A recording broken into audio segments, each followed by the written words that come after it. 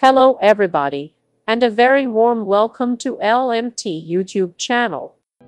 Prince Harry shares a special video message about the Invictus Games. Like many public events, the Invictus Games 2020 has been postponed. To mark what would have been the event's opening ceremony, Prince Harry recorded a special video message which has been shared on the organization's social media channels. Prince Harry set up the Invictus Games to support injured and disabled service people all over the world. The Duke of Sussex is the patron of the Invictus Games, so it makes sense that he'd want to share some words on what would have been its opening night. To introduce the special message, the official Invictus Games Instagram account wrote, As Invictus Games 2020 prepare to bring The Hague home to you this year, the Invictus Games Foundation patron, the Duke of Sussex has shared a video message of support for the competitors, their friends and families, and all those who were preparing to cheer on international wounded, injured and sick servicemen and women this May. In particular, Prince Harry addressed the fact that life has changed dramatically for all of us due to the pandemic.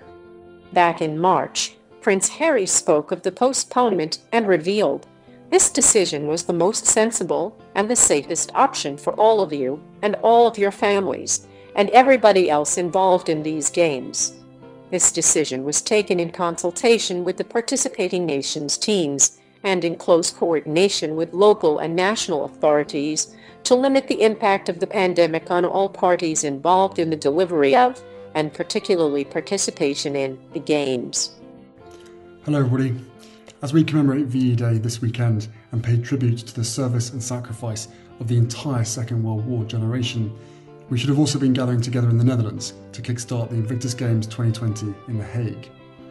Life has changed dramatically for all of us since I was last in The Hague, but the IG 2020 team has done an incredible job to adapt so quickly to the situation, and they are busy putting plans in place for next year.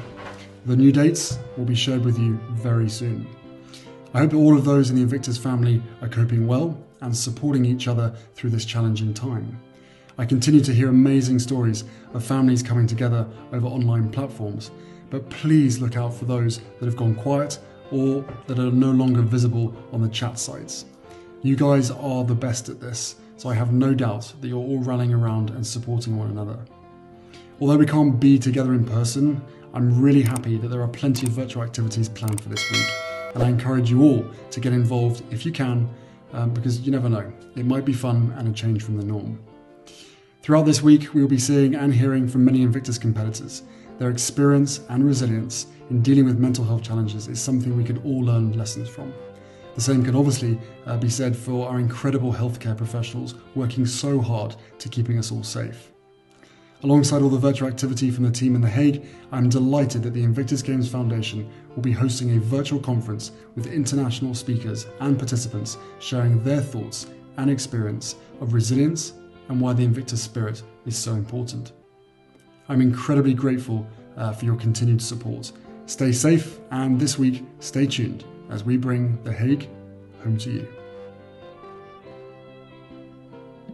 Another report the real reason Prince Harry misses his old life. Prince Harry made the move to Los Angeles with wife Meghan Markle and son Archie Harrison after the famous parents stepped down from their royal duties, but now it seems the Duke of Sussex misses his old life.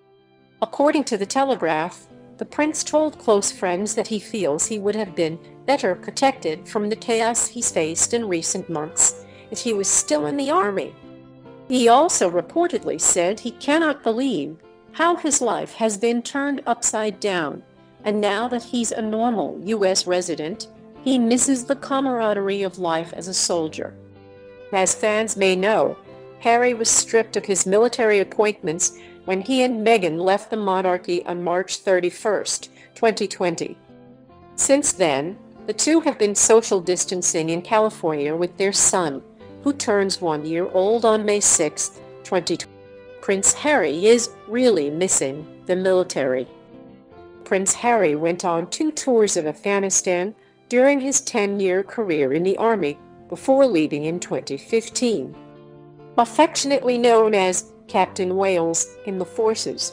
He retained the rank of major and insisted upon his exit from the monarchy that he would continue his unwavering support to the military community in a non-official capacity. Still, after Megxit, Harry was forced to give up certain honorary roles, including Captain General of the Royal Marines and Honorary Air Commandant of RAF Honington. A source told The Telegraph. Harry has told friends he is really missing the army as well his military appointments, though he loves his wife and is happy with his decision to step down as a senior royal and army man. He doesn't know how things got so difficult. He was in a happy place when he was serving in the army. Then he met Meghan, and since then life has been great. But I don't think he foresaw things turning out quite as they did. While Harry misses his military appointments, it's unlikely he misses any of his royal duties. The prince told the Mail on Sunday in 2017 that he'd once wanted out of royal life for good. He also told Daily Mail royal reporter Rebecca English that he'd rather be a tour guide in Africa. Prince Harry's army life continues to affect him. Prince Harry and Meghan Markle's decision to step down from the monarchy came after they suffered intense criticism in the media over their relationship, Meghan's background, and her alleged influence on the prince.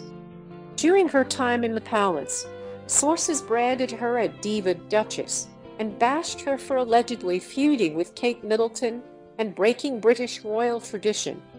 Eventually, the Sussexes decided to say goodbye to the royal family and move halfway across the globe.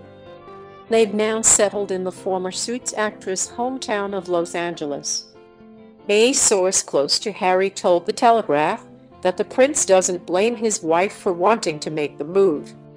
But There is just a sense that he might have been better protected if he was still in the army. Harry once said of his time as a soldier, From learning the hard way to stay on side with my color sergeant at Sandhurst, to the incredible people I served with during two tours in Afghanistan. The experiences I have had over the last 10 years will stay with me for the rest of my life. For that, I will always be hugely grateful. Now, Harry still remains involved in the military community. He just launched a mental health initiative for military members, HeadFit, in April 2020. HeadFit in April 2020. HeadFit in April 2020. HeadFit in April 2020. HeadFit in April 20. Another analysis. Prince Harry's rapport with children shows aspects of his mother. Princess Diana has been deeply missed for over 20 years.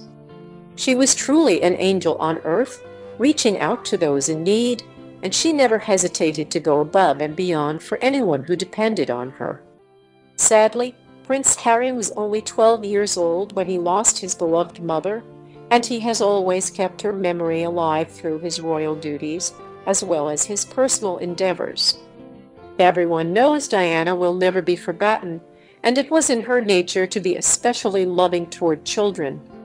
Prince Harry is known to have a playful side, and over the years, we have seen him connecting with the younger royal fans in such a special way.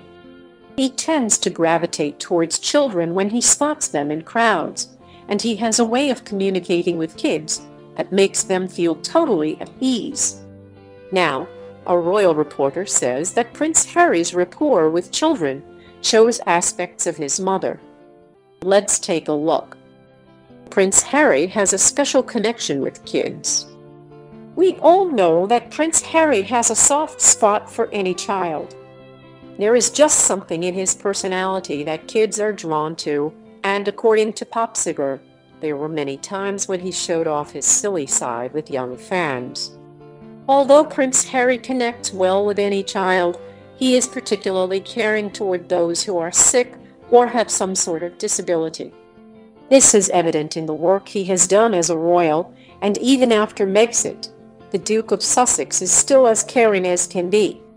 Even while he and Meghan are quarantined at home in Los Angeles, California, Prince Harry took the time to participate in a video call for parents of sick kids with the Well Child Children's Charity. Princess Diana was known for caring greatly about children. There are so many things that Diana is remembered for, but one thing that definitely stands out is how much she cared for kids.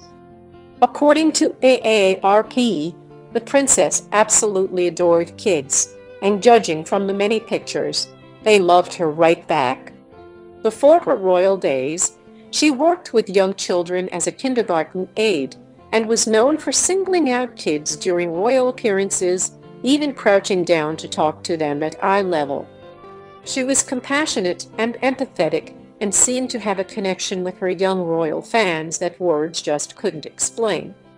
Diana was one of the most caring royals that we can think of and focused a great deal of her royal work on charities that had to do with the needs of kids. Not surprisingly, it was these skills that made her such an excellent mother to her two young sons, and it seems as if Prince Harry is working to carry on the legacy that his mother left behind all those years ago.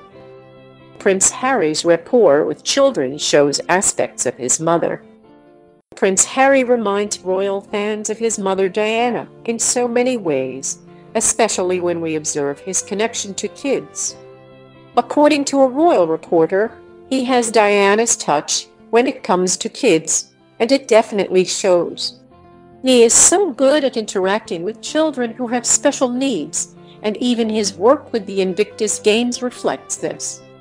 What else has Prince Harry done that shows just how much he cares for kids? He founded a charity that focuses on children with HIV, and the cause has been close to his heart for years.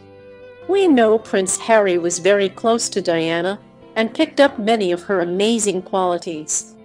Looks like over two decades later, Diana's youngest son is still showing aspects of all the wonderful things she believed in. So there you have it. That's all the news on Meghan and Prince Harry situation today. As always, thanks for listening. Don't forget to like, comment, subscribe, and press that notification bell if you want to be notified of future videos. Thank you. Don't stop.